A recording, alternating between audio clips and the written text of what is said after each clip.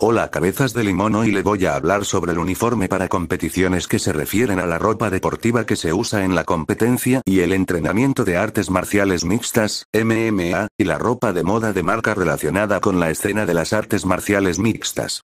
A medida que el MMA se convierte en un deporte maduro, las marcas dedicadas a él han trabajado para especializar la ropa que mejora el entrenamiento y la competencia de un atleta de MMA y grappling. La principal indumentaria del MMA son los guantes de MMA y los pantalones cortos o bermudas de MMA, similares a los pantalones cortos que se usan en el boxeo y Muay Thai, son la única prenda que se permite usar durante las competencias profesionales de MMA. Este tipo de ropa a menudo se conoce como ropa de lucha para diferenciar diferenciarla de la ropa de moda de MMA, que incluye camisetas, sudaderas con capucha, gorras y sombreros.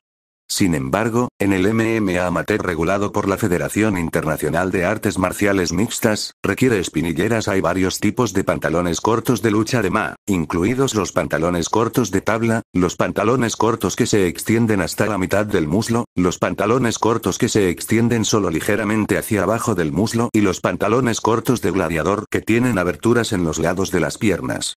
Las marcas comunes incluyen Firetex, Baboy, Venom, Abrot, Nearfalle, Tapout, Vendetta, Sproul, Silver Star, Ayabusa, TCB Figwear, Jaco, Pose MMA, Irman Figgear, Detrone Royalty, Ryu y Ground Game. Varias marcas de ropa han desarrollado sus propias líneas de ropa de MMA, incluidas Affliction Clothing, No Fear, Ekunit y Emerson Brand Apparel los ingresos totales de las ventas de ropa de MM ascienden a cientos de millones de dólares al año, y tanto Tapout como Affliction registran ventas superiores a los 100 millones de dólares. Las reglas unificadas de MM proporcionan pautas claras sobre los pantalones cortos utilizados durante los combates de MM a profesionales y amateurs. Estas reglas han proporcionado un punto de referencia para que las empresas de indumentaria diseñen y desarrollen pantalones cortos de entrenamiento y competencia para artes marciales mixtas y deportes relacionados. Los pantalones cortos de Ma ahora han evolucionado de los pantalones cortos de tabla regulares o los pantalones cortos de ciclismo.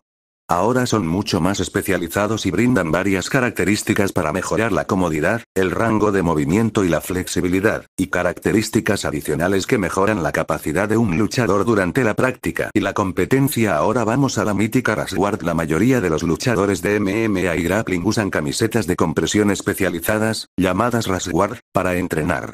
Los Rashguard no son camisas de compresión normales. Las técnicas de entrenamiento en lucha de suelo han requerido que estas camisetas proporcionen costuras reforzadas, con paneles adicionales para soportar el estrés adicional colocado en la camiseta para que aguante el duro entrenamiento mientras continúan brindando los beneficios proporcionados por las camisas de compresión regulares. También es la indumentaria usada para competiciones de grappling no de jiu-jitsu, luta libre, catch wrestling y otros estilos de sumisión y lucha de suelo. La rasguarden la indumentaria más versátil, popular de MMA y el los beneficios potenciales, pero no probados, de estos incluyen. Protege la piel contra las quemaduras de la alfombra. Control de humedad. Efecto de compresión sobre los músculos, que es beneficioso para prevenir el esguince barra distensión muscular. Buenas prácticas de higiene.